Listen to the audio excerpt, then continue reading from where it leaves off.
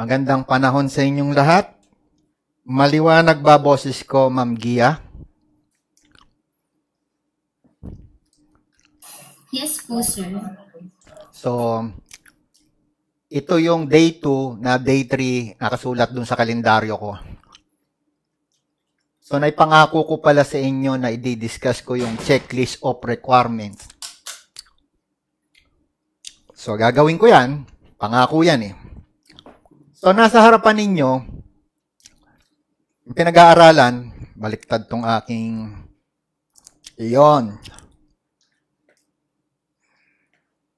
Control. May, may isang leader tayo na wala ng control eh. may isang leader tayo na wala ng ka-control, control.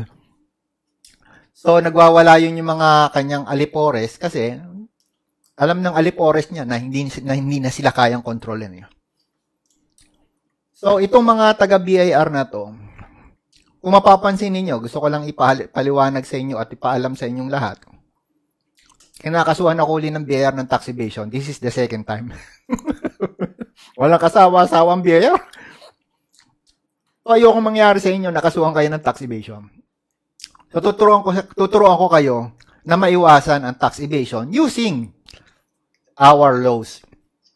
Since ang pinag-uusapan natin audit, dito lang naman nakakakuha ng tax evasion case ang BIR. Eh. Okay?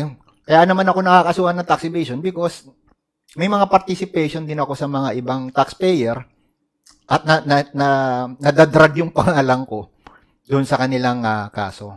Pero walang kwenta yan. Hindi yan na big deal. Kayang-kaya. Hindi sa pagmamayabang, kayang-kaya talaga. So, control.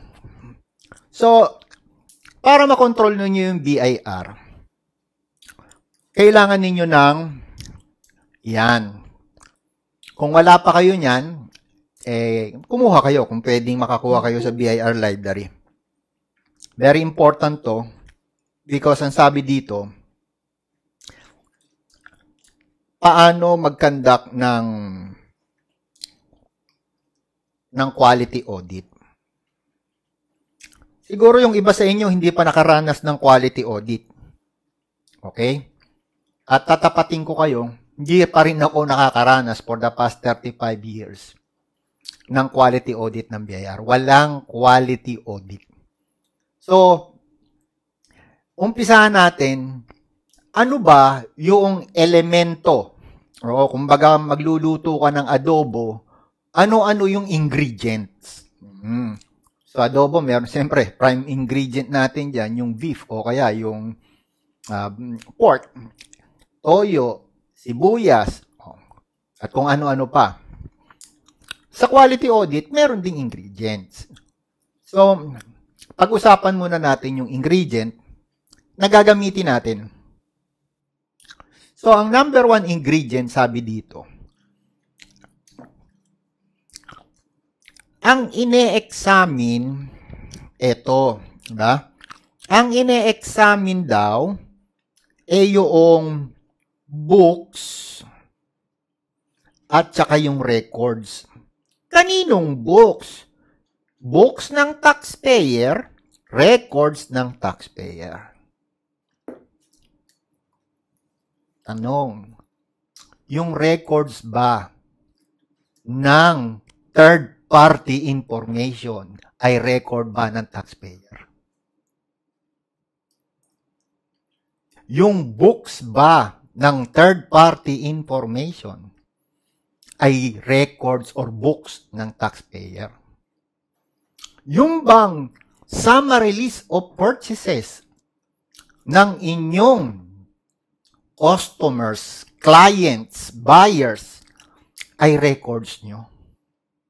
Yung bang 1604 CF Alpha List ng inyong customers, clients, at saka buyers records nyo. Therefore, wala siyang, wala siyang, kung hindi siya records, di ba? Kung hindi siya records, so hindi siya, um, hindi siya dapat kasama sa ino-audit sa inyo. So kung nababasa nyo yan, yan pa lang. Uli na kagad ang BIR because hindi nila inaudit ang books of accounts nyo, hindi nila inaudit ang inyong records. Criminal yan sa mga tarant... Okay, sorry. Lumalabas ang sama ng loob ko.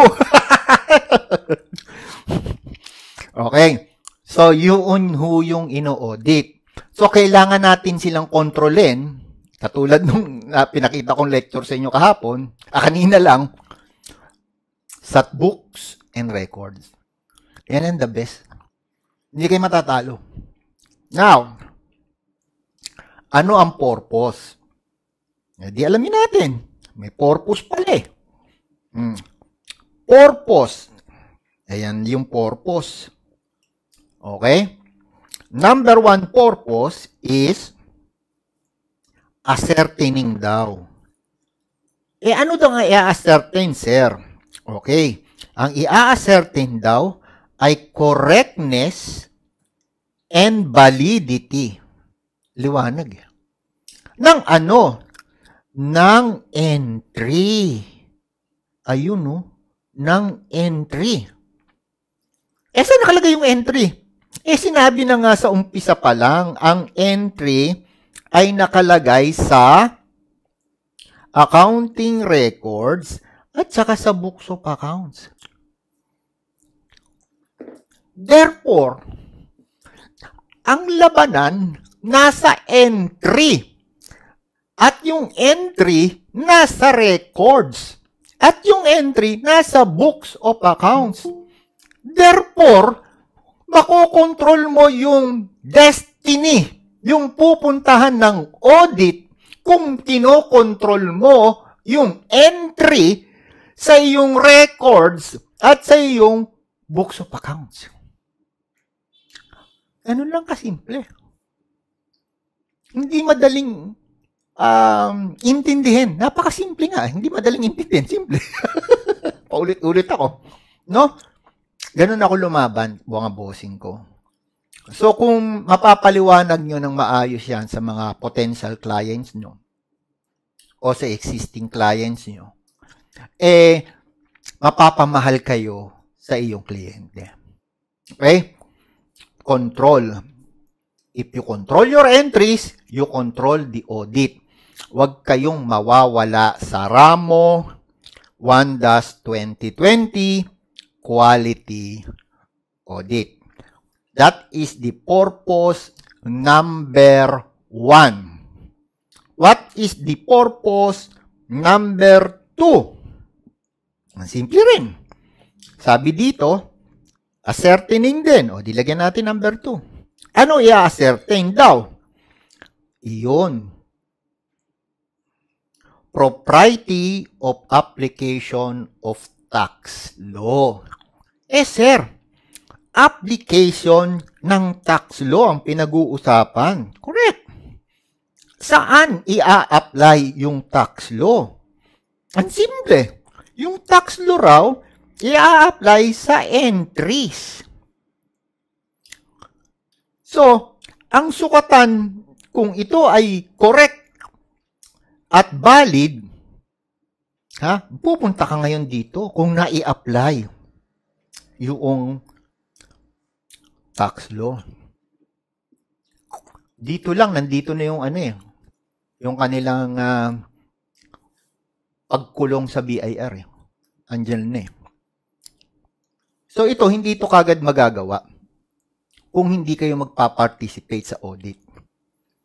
Yung man, oh sige mag-audit ka, ito, ito na yung records ko, ito yung books. Hindi, hindi ganun. Kailangan all the way nagpa-participate ka. Now, yun daw yung sinasabi. Ika, ikaapat, ikaapat, lilinisin ko na to.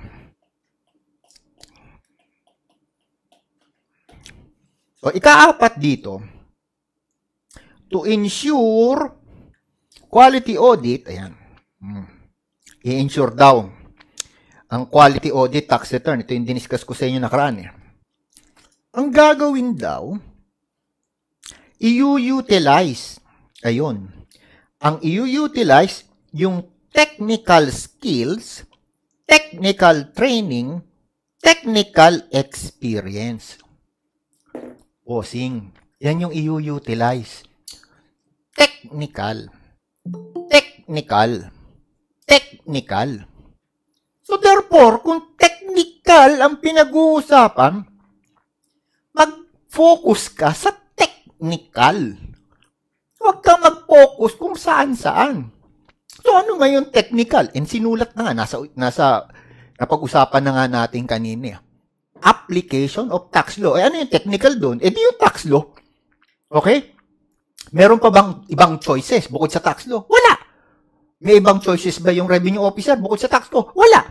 Eh kung wala silang choice other than tax law, therefore dapat tayo mga taxpayer, wala rin tayong choice kundi tax law. May nanalo na ba sa batas? Ha? Nag-violate ng batas, tas nanalo siya? Wala. Ang ginamit niya rin batas para manalo siya. Now, yun yung number 3. Now, let us go to number 4. Number 4 nga pinaka-importante sa pinag-uusapan natin is ito. Buburahin ko uli ito para hindi tayo nagugulo.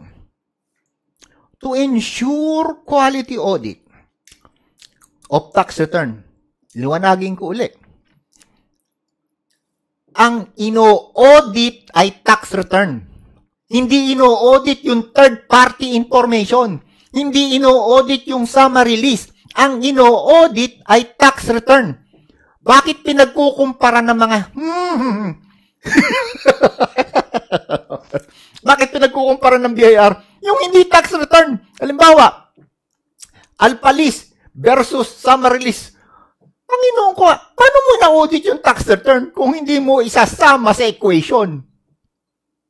Kaya marami tayong nakakancel na assessment.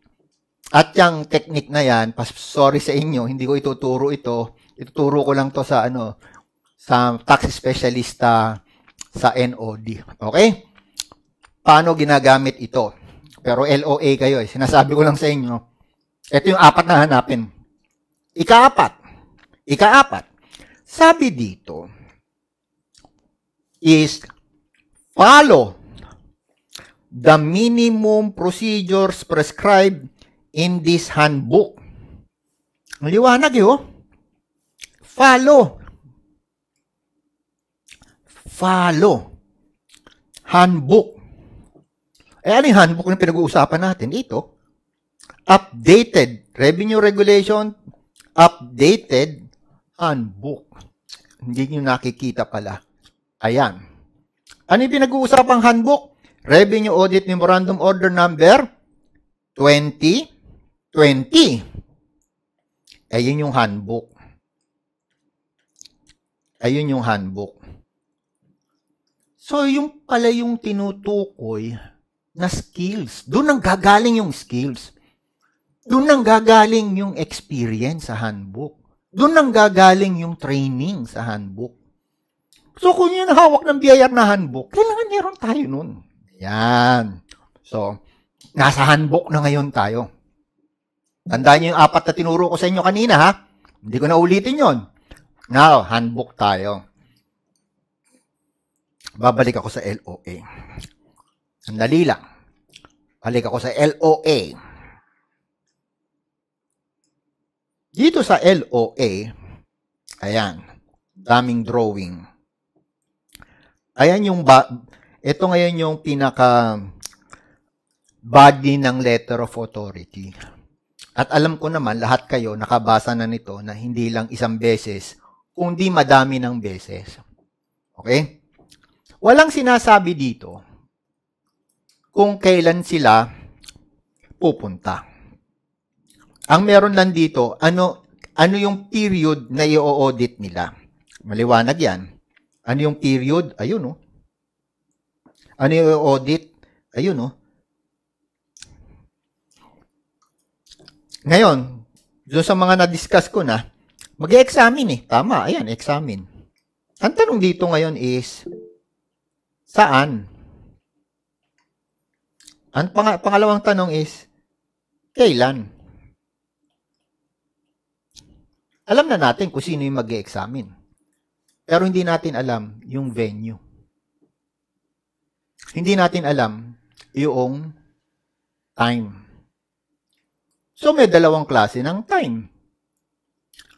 Day and hour or minute or second. So, alin doon? Napakadami. Di ba? Hindi, gusto namin mag-audit eh. Correct. Hindi naman sinabing sinabi na bawal kang mag-audit. Ang sinasabi natin, saan ka mag-audit? Kailan ka mag-audit? Yun muna pag-usapan natin. Kasi yung pangatlo, isusulat ko na para maintindihan din ninyo. Mali yung ginagamit ko. Ito pala. Okay? Para maintindihan nyo, yung pangatlo, paano? Yan. So, ito muna. One, two, three. Saan? Kahit basahin ninyo yung buong letter of authority, walang sinasabi kundi saan. Ah, kung, walang sinasabi kung saan. So therefore, huwag kayong magpe-presume na sa BIR mag-examine or sa taxpayer mag-examine ikailangan i-communicate mo. Bilang tax specialista, i-communicate mo yan in writing. So, susulat ka ngayon. Mag-examine ka sa opisina ng taxpayer. Huwag mong specify ngayon saang opisina. Ayun. Kung maraming building yan sa isang lugar, huwag mo sasabihin kung saan doon. Pumunta ka rito. Tsaka namin sasabihin, ha? Kung saan So, specific na compound nga yan, mag-audit ka. Hindi nila pwedeng ano yun yun. Hindi nila pwedeng uh, questionin. Because, territory mo yun eh. Okay? So much so, hindi mo rin quest, pwedeng questionin yung BIR kung paano nila o saan nila i-examine yung libro mo kung i-deliver mo sa kanila. Wala kang pakialam dun kasi nasa kanila na eh.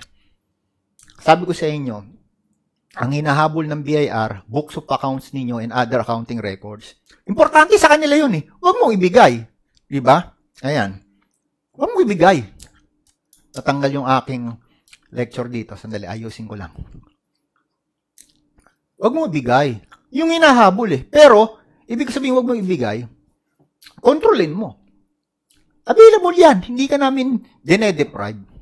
Pero, dito, yan yung unang control. Control number one, saan? Okay? So, general. Principal place of office, general yun. Specific sa karinderya. Specific sa garahe. Specific sa pagawaan ng sasakyan na puro puro langis.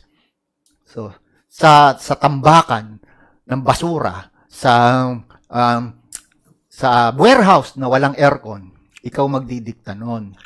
Okay? So, hindi sila pwedeng humindi. Kasi wala naman sinabi rito magtatrabaho sila na naka-aircon.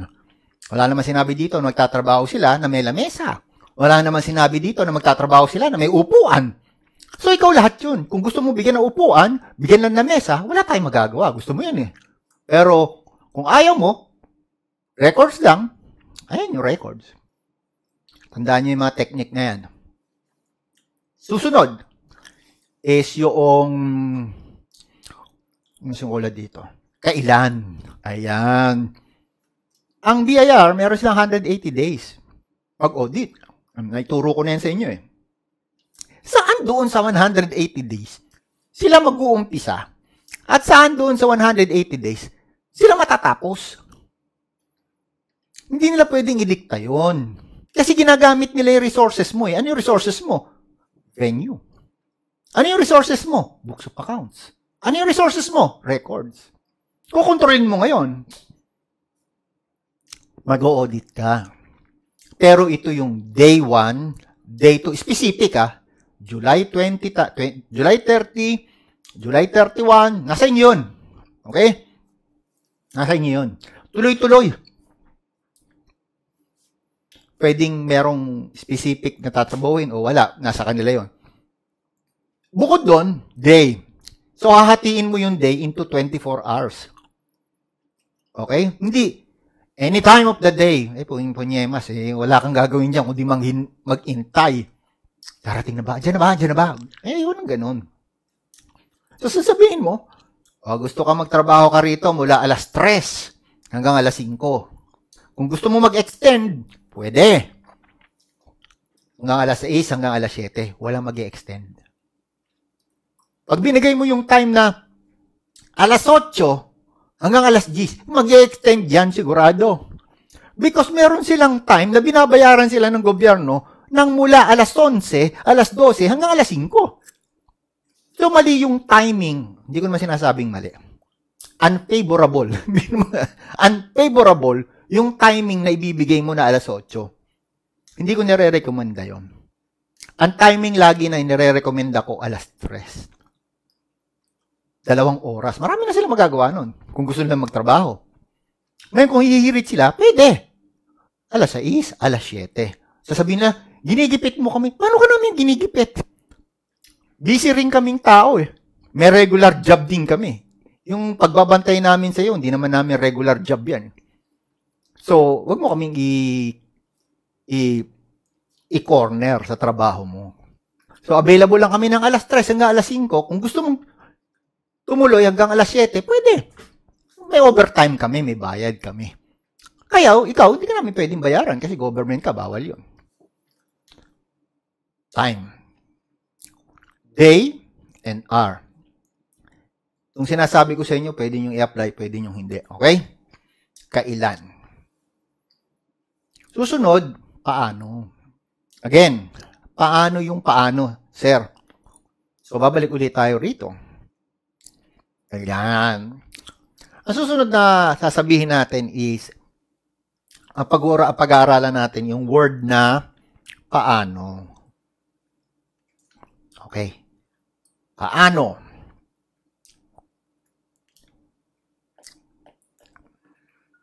Pag pinag-uusapan natin yung paano, kailangan ninyo tong librong to. Paano mag-audit? So, katulad nung napag-usapan ko last time, hihimayin nyo yung audit nila. VAT, withholding tax, income tax. That is the general eh, or major subject matters. Pagsabat, output, input. Output, ano composition? Sale. Output. Ilang klase ng sale? Apat. So, lahat ng yan, ang sinasabi ko sa inyo, andi dito yung audit procedure, nasa handbook nga. Nasa handbook. Andiyan dyan yung minimum audit procedure. Huwag ho kayong mawawala. So, gagawin nyo lang yan is kukopyahin nyo. Okay? Yun ngayon yung ang technique. Ang technique ko. Una, venue. Sasagot yan, yes. Hindi nyo pwedeng ibigay ng sabay-sabay eh. Experience namin ni Mau yan eh. Ni Joyce. Yan, si Joey at saka si Roger. Pag binigay mo na sabay-sabay, nalulunod ang bureau. So, dapat, pagbigay, venue muna. Dito tayo mag-audit. Papayag yun. Susunod, ito yung araw na mag-audit tayo. Papayag yon. Pangatlong letter, ito yung mga oras na mag-audit tayo. Papayag yon. Pangapat, ito yung paraan ng pag-audit.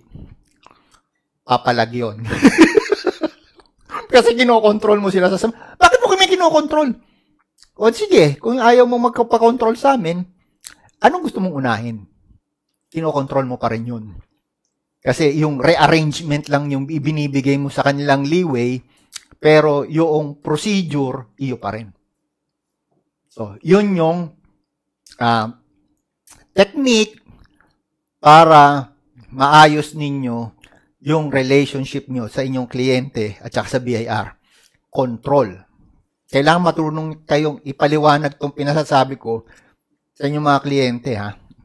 Now, ang susunod natin pag-uusapan ay eh yung napang, naipangako ko yung pong checklist of requirements. Ayun.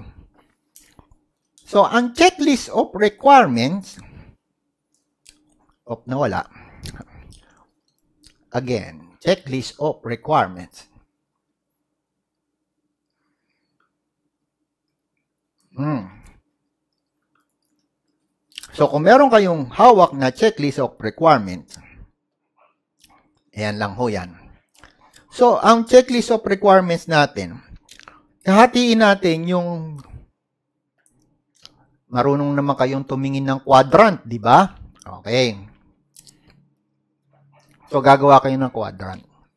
Ayan yung quadrant. So, pag nagbibilang tayo, uh, ito yung quadrant 1, quadrant 2, quadrant 3, and quadrant 4. Ayon. So, sa quadrant 1, ilalagay ninyo data, privacy, law.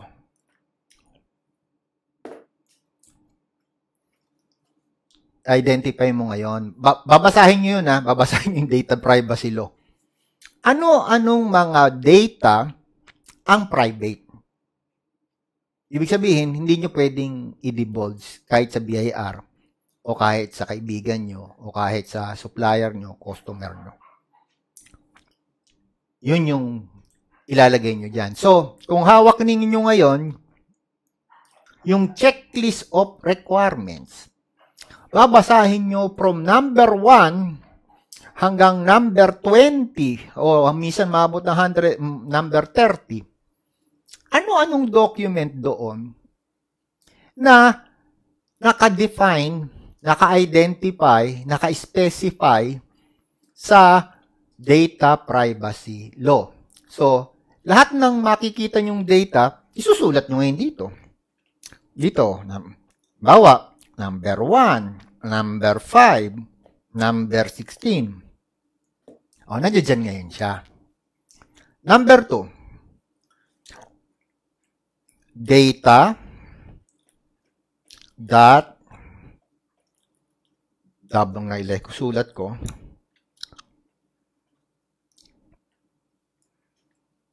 data dot BIR has yun. Yun yung number 2. Mga, mga information na meron na BIR.